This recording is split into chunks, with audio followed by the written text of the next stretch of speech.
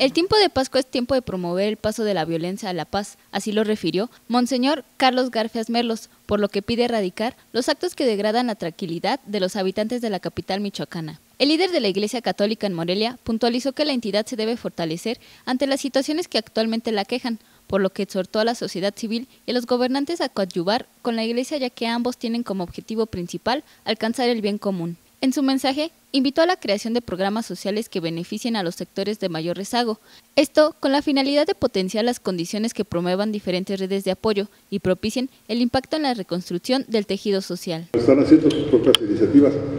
que no las llaman construcción de paz, las están llamando en su momento eh, dentro de los diferentes programas que tienen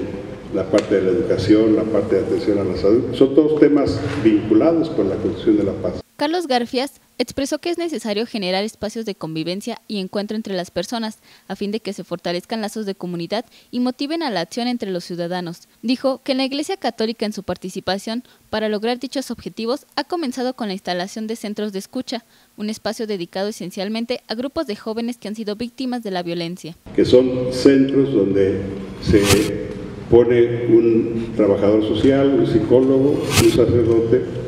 para empezar a darles acompañamiento en la escucha, en transformar los sentimientos de rabia, de venganza, de rencor, a víctimas de la violencia,